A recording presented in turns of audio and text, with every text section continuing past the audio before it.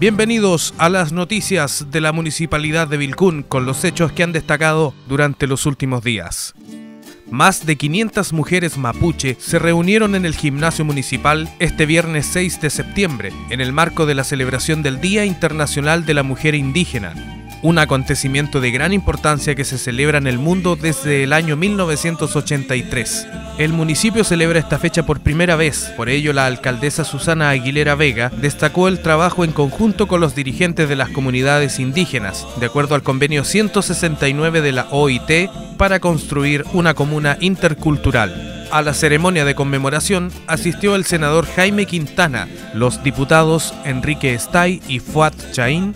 la consejera nacional de la CONADI Ana Yao, el Consejo Municipal y por supuesto más de 500 mujeres pertenecientes a las 79 comunidades indígenas de la comuna de Vilcún.